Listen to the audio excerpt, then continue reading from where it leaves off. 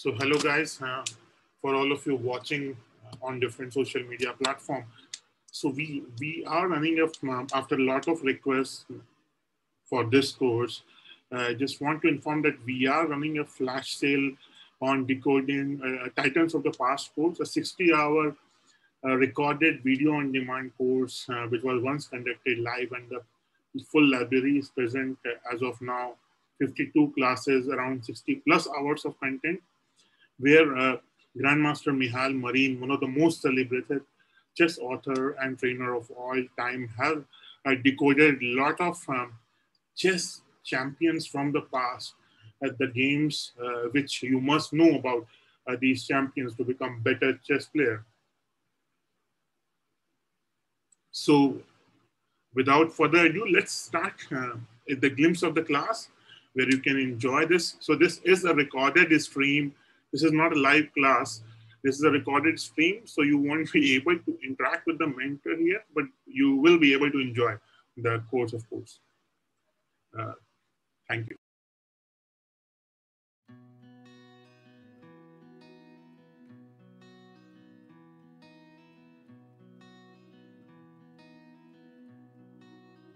right? But it's uh, one of uh, Spassky's most uh, typical games. Actually, he was winning at some point. Uh, well, his opponent uh, Ratmir Kholmov, uh, quite a quite a solid grandmaster. He yes, Boris Spassky. Um, quite a solid grandmaster. He came close to, to winning the Soviet championship once and anyway, a positional uh, player. Uh, Spassky frequently um, played this system uh, in uh, his youth. It's uh, it certainly looks like uh, like a solid system. I mean, um, what is really going to happen here? the center is blocked, and actually for a Nim- Nimzovich Indian players player, um, doesn't seem so so threatening. Black is has given up his bishop. He's, he has put his placed his pawns on dark squares, and white has uh, these pawns which are not mobile, the double pawns.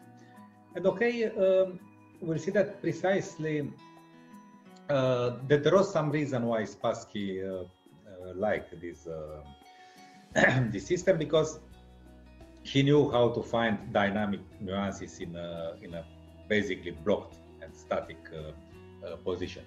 Let me check uh, uh, the commentaries. Uh, yes, Spassky was a former world champion. He, um, uh, if we speak a bit, a bit about his career, um, uh, he um, became a world title candidate. At that time, this was a record uh, at the age of 19. A little bit later, three years later, Fischer beat his record because he qualified for the candidates at the age of uh, 15 or 16. Uh, but then for two whole cycles, uh, Boris Spassky failed to qualify even for the interzonal. and then when he again qualified for interzonal and candidates, he won the candidates. It was already matches, not not tournament. He won the candidates twice, so he twice played with Petrosian. And it also must be said that each time he won the candidates quite convincingly. I mean, out of the six matches, I mean, three each year in, in 65 and 68. he won all the matches by a margin of three points. Three points uh, out of, um, okay, uh, as an average, it was uh, 10, 10 games per match. Probably he had also longer matches, 12, 14, but still it's, it's three whole points. There was only one exception against Keres. Against Keres, he won only by two points. So uh, he lost the first match against Petrosian, but then uh, uh, he got another shot and and he won. Okay, then he lost to Fischer. Okay, that's uh, the most, uh, let's say, unfortunately for him, that's the most known episode of from Spassky's career. But actually, he he was good. I mean, okay, Fischer Fischer was even better, but okay, in his time, uh, Spassky was really really cool.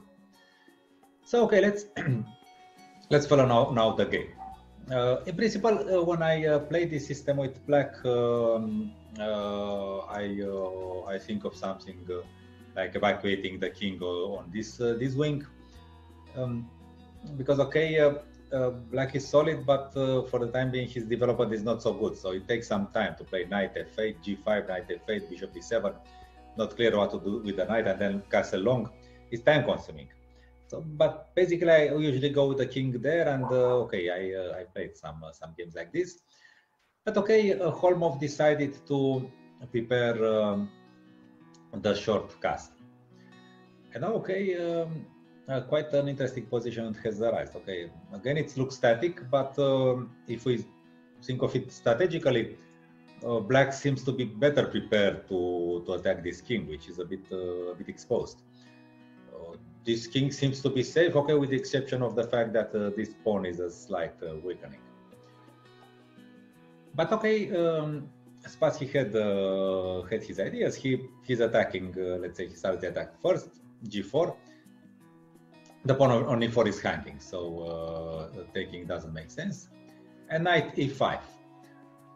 Again, it seems that um, uh, black has a wonderful position. Uh, look, look, at this knight.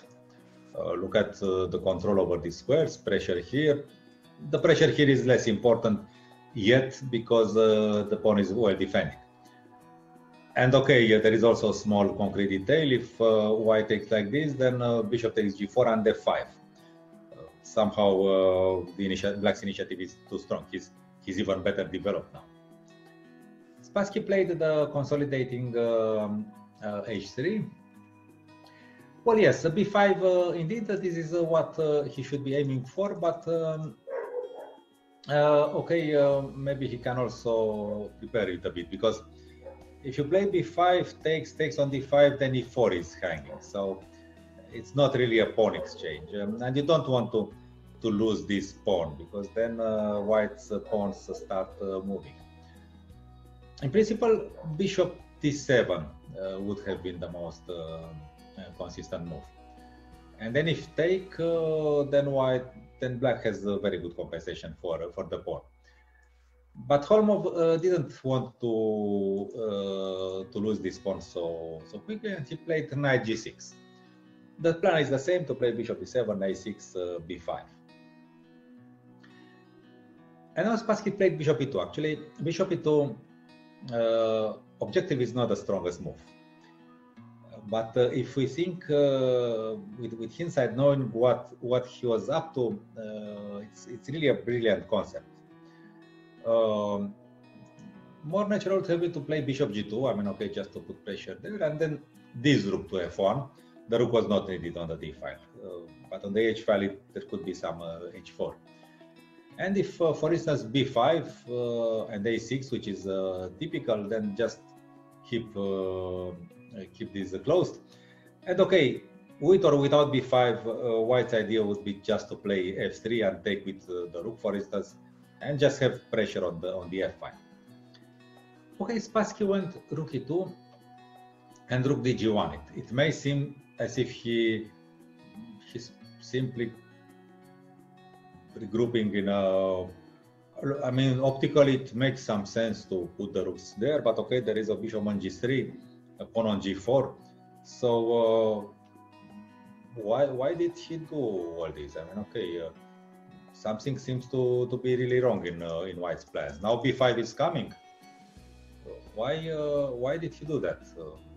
How how can you because it's clear that uh, White's position has some some huge potential, and that is exactly what I was telling you uh, about Spassky. He, he would put his pawns and pieces on what he considered the right places, and then started throwing them at the, opponent. So why why did he regroup in this way, which looks completely ineffective? If you, what was his idea?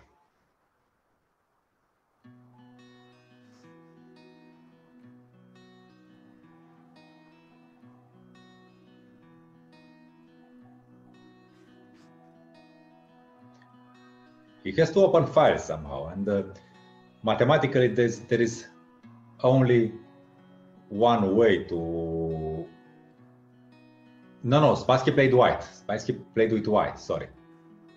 We have the white pieces uh, towards us.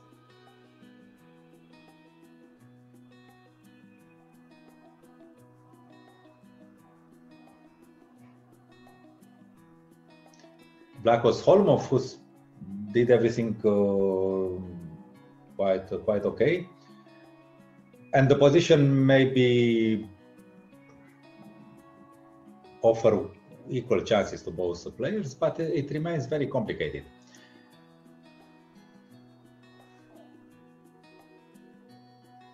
Uh, well, rook h6, rook h1 uh, would makes uh, looks natural, of course, but uh, well, rook h6, uh, king g7, then no real threats. Okay. So, guys, you heard it right.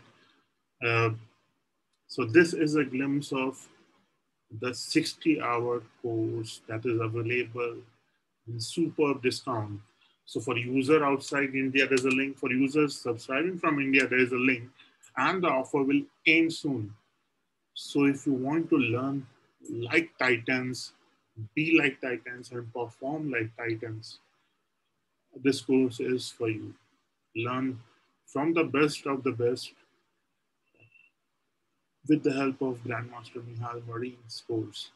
And so if you have any question, you can write to us at support at nurtr.com or WhatsApp us at plus 9953